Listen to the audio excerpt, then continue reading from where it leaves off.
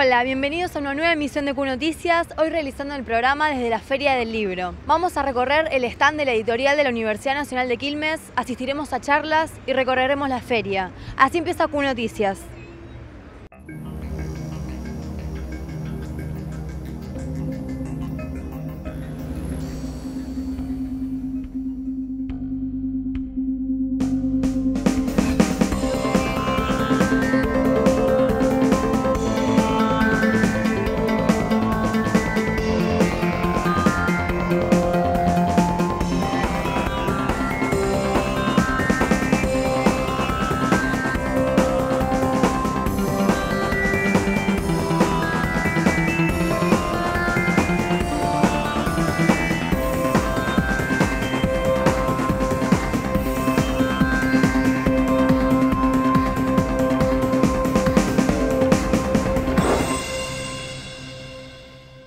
Como cada año, la editorial de la Universidad Nacional de Quilmes presenta su catálogo de ofertas en la Feria del Libro. Estuvimos visitando su stand para que nos cuente un poco acerca de esto. Básicamente somos este, la editorial de la universidad que trabaja mucho y la gente lo reconoce porque se vende muy bien y, nos han mencionado la calidad de nuestros libros, eso sí que estamos muy contentos.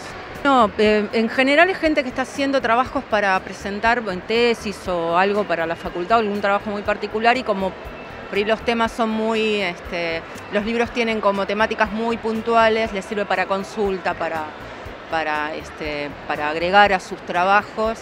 Eh, se venden todas las colecciones, las de historia interesan mucho, eh, la colección de cuadernos universitarios también, este, que los, los docentes en particular la buscan este, especial y después hay, eh, por ejemplo, la colección de la ideología argentina que tiene documentos, este, a veces la piden en cátedras y, bueno, los alumnos vienen a buscarlos este, muy puntualmente con el título anotado, así que se ve que son de consulta para los estudiantes o para tesis, para ese tipo de trabajos.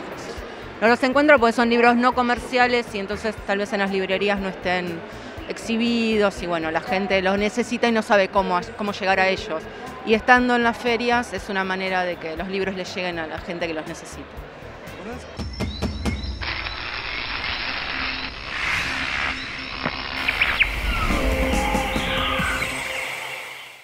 Estuvimos con Pedro Saborido y con Claudio Morgado para hablar acerca de la nueva propuesta televisiva, La Señal Igualdad. Eh, el BACO es un banco, ¿no? es un banco de, de contenidos eh, universales para televisión eh, que está realizando el Ministerio de Planificación de la Nación y en el marco de lo que es televisión digital abierta.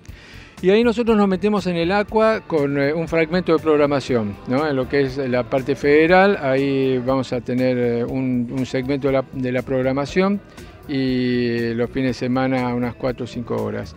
Y en la medida que vayamos incrementando nuestra, este, nuestra producción, bueno, vamos a tener mayor cantidad de horas, vamos a ir este, abriendo nuestra franja. Estamos hablando de temáticas de migrantes, de pueblos originarios, este, de adultos mayores, de discapacitados, de este, diversidad sexual, temáticas que estaban absolutamente ausentes dentro del, discurso mediático. Entonces eh, es, importante ya asomarse por esa ventanita y decir, bueno, aquí estamos, ¿no? Eh, esto es lo que habilita la ley de servicio de comunicación audiovisual, o sea, ni más ni menos que de esto hablamos. Eh, además de, bueno, de, tener la posibilidad de otros licenciatarios y todo esto, tenemos también la posibilidad de, cuando hablamos de nuevas voces, hablamos de esto, de que estas voces este, tengan un lugar de emisión y que tengan el verdadero empoderamiento para que ellos mismos puedan producir estos temas, ¿no? Así que bueno, vamos a ver. Sobre todo da, una oportunidad de, de, poder producirlos, de que aparezcan y que estén en, un plano de igualdad con algo que, que también, digamos, es, eh, que es como fatal en el mejor sentido de la palabra, que es el acceso a la tecnología. Eh, y entonces quizás toda esa producción que de alguna manera crece quizás más anárquica, de una manera más artesanal, o que esté distribuida, pueda tener lugares de contención que no sean cerrados se ven a partir del lobby o de la propuesta o simplemente de tener que responder a un condicionamiento de marketing. Esta agenda de que son los programas de escándalos o los programas de cocina o los programas de deportes o esos cuatro que están muy bien que existan, pero que también a veces parecen crear una especie de, cultura televisiva en la cual... Eh, eh, engarzado con la necesidad de ser exitoso, todo contenido tiene que responder a determinadas necesidades para que los mire mucha gente. No necesariamente es así, no solamente es un derecho del que se expresa de hacer un contenido distinto, sino también de aquel que quiere acceder a un contenido distinto. Y a veces un poco este, este esta máquina de, rating que enseguida tilda de fracaso cualquier cosa que no llegue a, tan, a tal determinada cantidad de puntos, le está cercenando la posibilidad no solamente a los, que, a los que se expresan, sino a aquellos que quieren ver algo. O sea, el tipo que mira un programa de cuatro puntos, que no es joda, son 400.000 personas que miran un programa y tienen derecho a poder seguir viéndolos. Y tiene que haber un lugar también para eso.